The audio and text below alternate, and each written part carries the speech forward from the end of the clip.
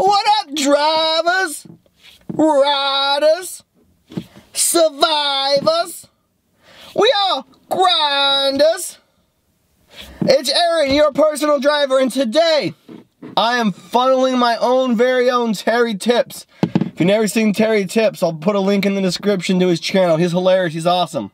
So, today, I'm gonna be doing a little bit of Dear Passengers.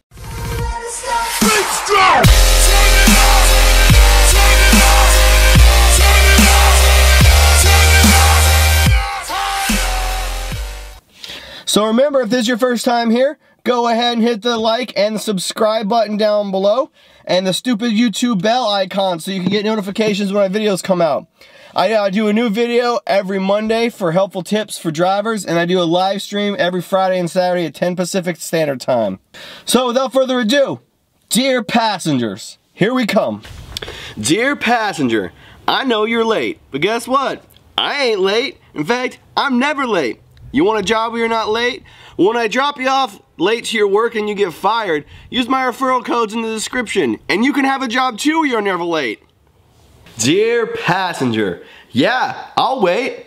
I'll wait for you to get the fuck out of my car, walk across the street, disappear into the store, and then I'm gonna end the ride. And guess what? You can wait on the next sucker who's a driver. Dear passenger, yeah, I'll definitely go through the McDonald's drive through I like a number two with no pickles and a Coke. What was that? Oh, you don't want to buy me any food? Well, I guess I'll go drop you off at your house then, you cheap motherfucker. Dear passenger, you just said you're gonna tip me in the app.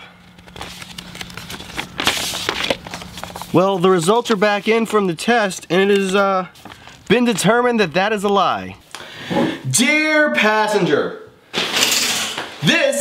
shower. Next time your smelly ass get in my car, you better get acquainted. Dear passengers, I can tell that you're a little bit confused. This is money. I do things for this. Do you want me to get your luggage for you? Do you want me to deliver the food to your door? Do you want some ice cold water or an aux cord? You give me this and I do things for you. Dear passengers, have you ever heard about the rule at the fair? Must be this tall to ride? Well, I have a similar rule. It's called, you must have this many teeth to fuck. Dear passengers, my knee is not a handrest. Remember, you have to have positive consent, positive oral consent before you touch somebody's private parts. And guess what?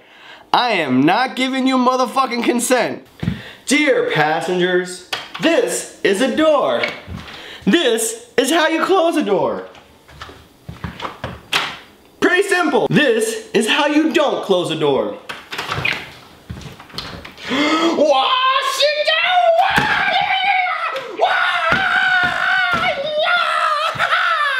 Well guys, I hope you liked that video. Shout outs to Mr. Terry Tips.